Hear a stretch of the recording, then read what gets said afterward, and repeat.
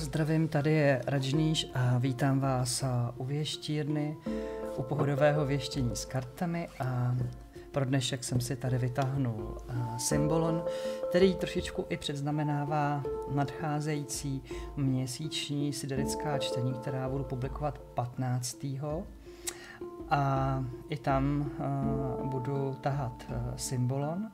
No a cítím, že teď vytáhnu jednu kartu, která nám řekne, co bychom si měli do té doby tak jako zpracovat. Tak.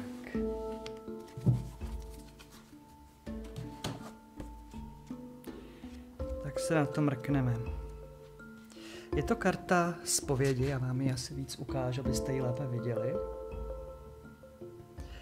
A jejíž tématem je přiznání, konfese, očištění od uh, jakési subjektivity. Je to o odpovědnosti terapeuta nebo odpovědnosti toho kněze. Je to o nahlížení do osudu, o poznání osudu.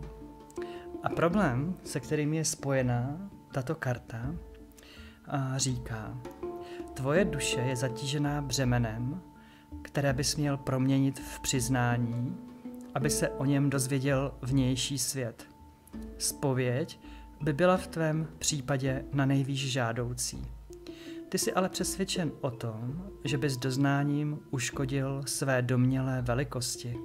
A máš úplnou pravdu. Ostatní by si náhle všimli, že tvoje poznání, poznání není až tak rozsáhlé a ty nejsi až tak osvícený, jak si přeješ, aby to navenek vypadalo. Proto nejsi schopen ani ochoten řešit momentální situaci spovědí. Vyhýbáš se ji, nedůvěřuješ svému osudu a neplyneš s ním. Takovým způsobem se však z tebe může stát zatvrzelý a předčasně zestárlý člověk. A mě pod tohletou kartou chodí jako příkladu situace, kdy vás navštíví rodiče a vy můžete vlastně předstírat, že je všechno OK, ale vlastně si žijete svůj nějaký postranní život, který uh, s těmi rodičemi třeba nezdílíte. Nezdílíte s nima mm, tu pravou tvář. Necháváte si nějaké věci, které by mohly uškodit té vaší velikosti. Jo, ku příkladu, takové to typické, um, že před rodičema neděláme to, co děláme, když s nimi nejsme. Já nevím, že si dáte skleničku vína, že si zapálíte cigaretu. A um, před rodičema to je třeba tak, že a ani nevědí, že kouříte, ani nevědí, že si třeba skleničku dáte, protože si myslíte, že to um, uškodí vaši zdánlivé velikosti. A možná chcete být v tom lepším světle. Já to um, ukazuju na téhle situaci, která um, vám to může jako ozřejmit, ale samozřejmě je to v jakékoliv jiné oblasti, v pracovní oblasti, kdy před šéfem vlastně děláte, že je všechno v pohodě nebo že všechno zvládáte a přitom jsou třeba oblasti, které nezvládáte a vůbec nevíte, jak na ně. Je to takové to, kdy mm, vlastně mm, ukazujete větší velikost sebe sama, abyste ho třeba utvrdili v tom, že si místo zasloužíte a podobně. Já neříkám, že mm, zrovna v těchto těch dvou oblastech vy máte provést tu spověď, jenom mm, to rozšiřuji do té praxe, abyste věděli, o čem ta karta hovoří. Samozřejmě ta mm, situace, ten problém má nějakou cestu k vyřešení a symbolon říká, Nestačí o provinění pouze mluvit. Měl bys ho uznat jako svou vlastní vinu. Co znamená, že vlastně mm, vy to nemáte vysvětlovat a nemáte si kolem toho dělat nějaký alibi, když tu spověď děláte. Prostě to tak máte. A Přesně to od vás vyžaduje ta cesta, že byste se měli přiznat ke každému svému poklesku, ke každému uh, přehnanému projevu namyšlenosti, arogance, které, který jste se během cesty dopustili a vlastně se tím vystavujete riziku, že přijdete o svou slávu. Jo, to je třeba taky někdy důvod, proč já jako věštec točím random vlogy, abyste mě viděli jako v normálnějších situacích, nejenom jako toho, kdo tady vykládá karty a dělá chytrýho. A taky samozřejmě a víte, že bojuju s, já nevím, s váhou a, a, a se svými neřestmi, jako je třeba někdy kouření a podobně. Takže a, to je vlastně tenhle ten případ, že vlastně mm, je potřeba se k těm uh, prohřeškům více-méně přihlásit, protože konec konců to, že děláte, že ty prohřešky nejsou z vás, nedělá uh, lepšího člověka.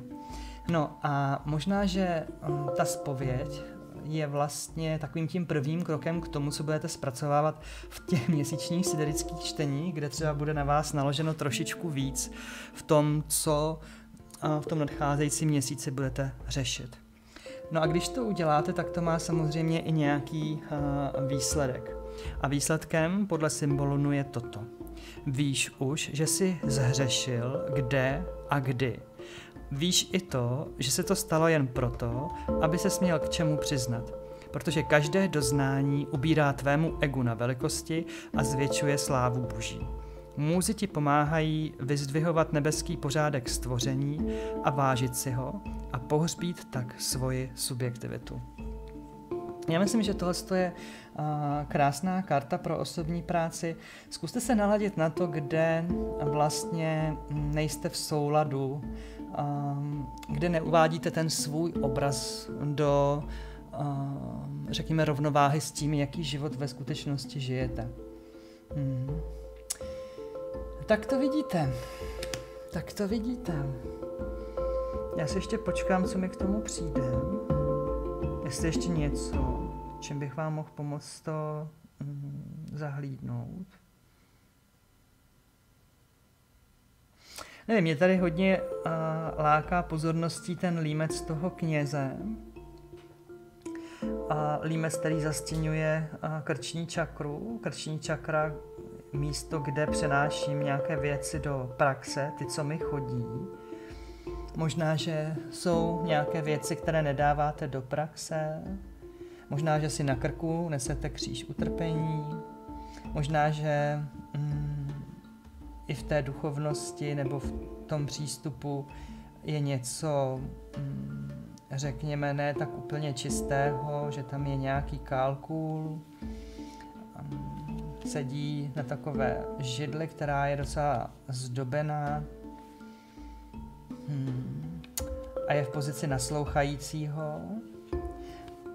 A pořád mně přijde, že ten muž tady vpravo je tak jako pořád stranou, ale vlastně my bychom měli na něj teď dát víc své pozornosti, co znamená být víc tím mužem, který se spovídá bez toho límce. Hmm. Já musím říct, že nosím podobný kalhoty. Takže i mě je docela dost podobný, i tak šedivím. A napadá mě, že to nemusí být úplně velký věci, který, ke kterým se máte doznat. Může to být strach z nějakých uh, obyčejných věcí, který máte.